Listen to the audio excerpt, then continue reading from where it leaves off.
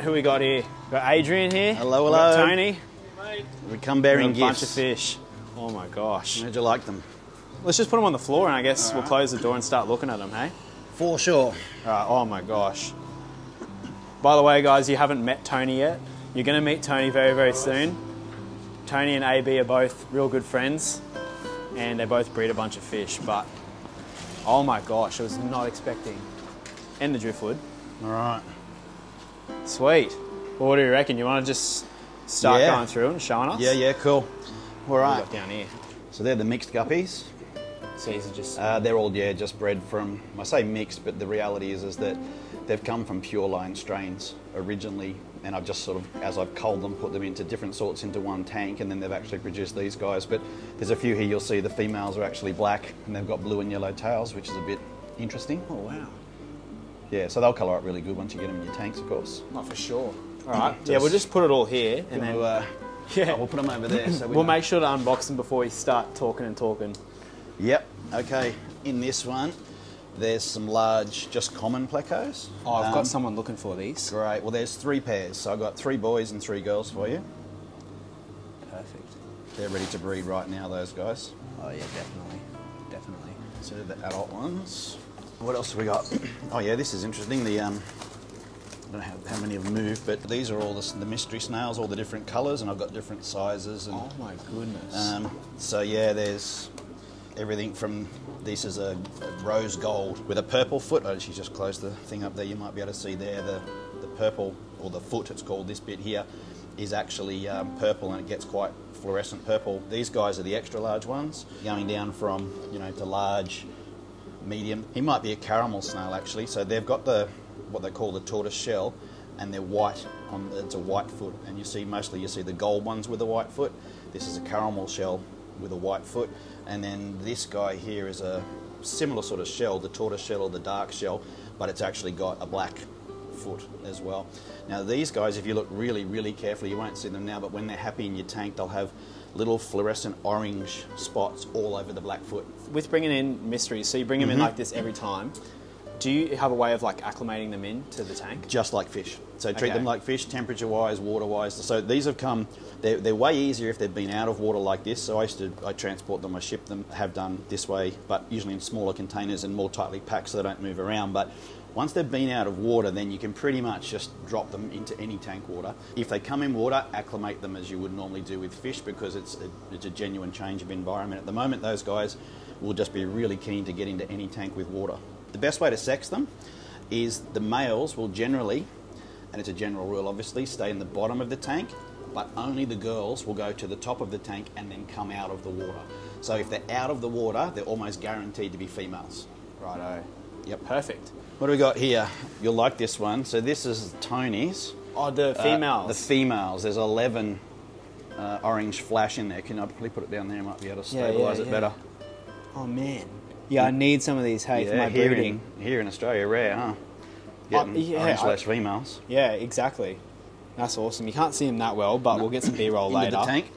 Definitely. Cheers. So I've got six of my neon blue Acaras. I've got them in two bags. There's basically one pair and a spare in there, so I'm not sure if the spare is a boy or girl. You might end up with another pair there, but I've, I've tried to get them so you've got at least one guaranteed pair. You might want to sell them as a trio even, but again, they'll colour up way different once they. Uh, Yeah, these have been so popular as well. They'll be even more popular now that they're local bred ones. So. Yeah, yeah, and I've got a new spawn coming through. I think Tony said today he's got another one coming through as well. So Oh wow. These are Tonys. So there's actually 30 koi guppies in there. More females than boys. Thank you. Females, mate. yes. I breed a lot of females. yeah. Yeah. No, that's awesome. Which is again great because you just get tons of males, but get you the girls. yeah.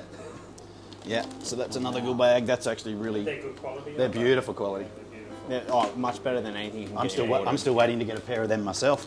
Uh, that's the other pair of the neon blue Oh, yeah. Acaras in that there. one's got a mustache. That'll uh, be the boy, cool. obviously. Yeah. yeah. All right. What else do we got? Oh yeah, this is the 24 karat gold guppies. So there's a trio in there for you. oh, perfect. A really nice male and two really nice young females. They're both pregnant, by the way. So I thought So you'd you want me to stick breed in them? there. Yep. All right. Um, I checked online and uh, they're still 75 bucks a trio to get them online right now. So Um, I figured I'd get you uh, some breeding stock. That pardon me. much? 75 a trio, yeah. Yep. People probably can't keep them alive because the imported ones are so bad.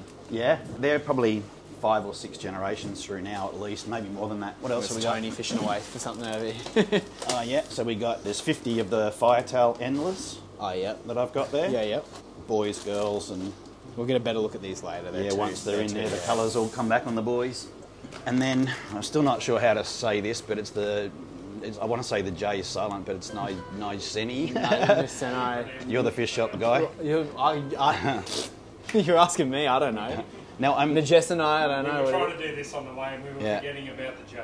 I love them so much. They're hiding in the uh, females. in the subwassa tang in there. I've got for you, but the um, there's at least uh, so there's eight in there. There's at least three boys and three girls and two I'm not sure of. All right. And then just some driftwood we got out out of the creek in bits and pieces. So it's something- Legally. Yeah, it's my creek. yeah, yeah, yeah. Since the floods, it just washes up, and we've got to remove it, etc. And I've got tons of it. And this is good because it won't leach heaps of tannin. No, so they're already pre-soaked bits and pieces. But I've got you know multiple things, and again, if even if you um, if they like, for example, you didn't want to sell that bit, that's you can drop it into your tank for your you know your L numbers to eat in bits and pieces. And so yep, there's some driftwood there for you as well. Oh, perfect. So that's our That's it. that's our stock. That's a today. lot of stuff. Thank you so much. No, all good, man. So here we got the koi guppies. All right, here we go. Well, which one should we put these in? Maybe here.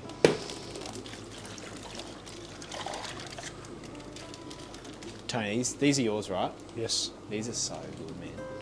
What's the way you um breed them? I have them as five trios, and I have them in a little two by two by two with a lot of duckweed, a lot of places for them to hide. Just let them naturally do their thing. So you don't strip them or anything. You just let them go and then you Just let them go, the babies within them. As they start to grow and get a little bit bigger, I then move them to a bottom tank underneath them. I just use a guppy net. Yeah. I just hand pick them out, the bigger ones, and just keep on going, and then just keep bringing them up within the mum and the dad. All right, I'll do that with the 24 carats. All right, so we'll bring them over. I reckon we'll go in here. So I'm literally just going to try and knock it duckweed. Do this. And start looking at them. Oh, they're awesome. And you know, like Nick, in a few of these, you still have to pick the better ones out of them all. Generally, Yeah. they all seem to be good, but you know, it's like anything. You just hand pick the better quality ones out of them. Look at this. Wait. Beautiful little fish. We'll just get the duckweed out later. Have you got a little shrimp now? Yeah, I'll get that off. You guys. All right, let's go to this next I'll one. get the duckweed off the top. So next up, we've got the mixed guppies. So these are just Adrian's culls almost, but they're just a assorted guppy now. Yep.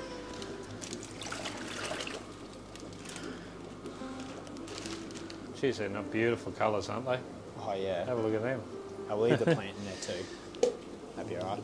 Yeah, there's so many that angels don't know what to do. but they're going now, so.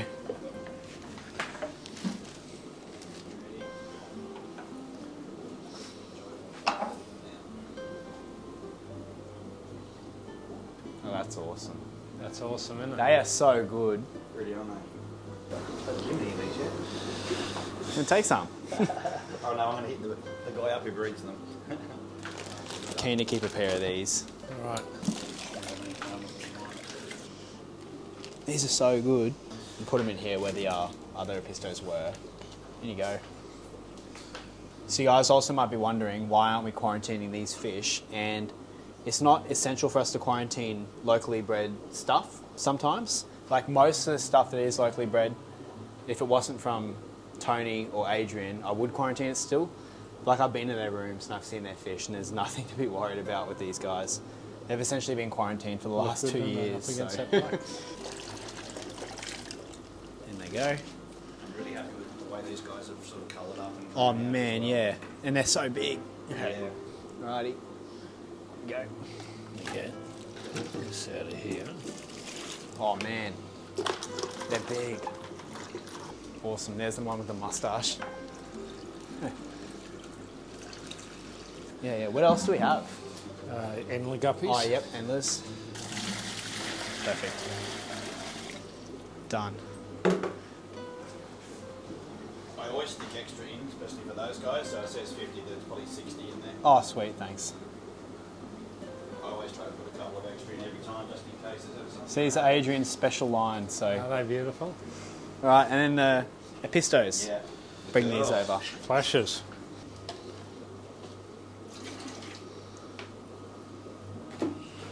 Man. Oh, they're going to be awesome. Yeah, that's great. Oh, I'm so keen to try and breed them, man. I'm so excited. I'm so excited. Get my fish now. Sorry? Get Yeah, yeah, we'll get your stuff now, I guess. We can add this to the video. Yeah, I want that betta. Alrighty. All yours. I really like those um, dwarf brahmi. I don't know what I call them. I might breed them, so just Yeah, maybe really- wait. really Yeah. good, really. And Adrian's taken home a new friend as well, so. Yeah. And tell us Tony. Tony's got his fish somewhere. I've got mine in my back. Thanks so much, guys. Like, seriously. for having No, no, we love it, mate. Yeah, no, it's thank good. you. Thank you, buddy. All right. Yeah, no, it's been great, man. Yeah. And yeah, watch for the tour. We'll go around to all the tanks and look at them all. Adrian's fish are here this weekend, so if you're in Brisbane, you want to come buy them, and Tony's fish as well. Yeah, come check it out. There's heaps of new stuff now. So, anyways, there's that You're a one. good man. Cheers. All right, Thank sweet. you. Thanks, guys. See ya. Thank you. Bye.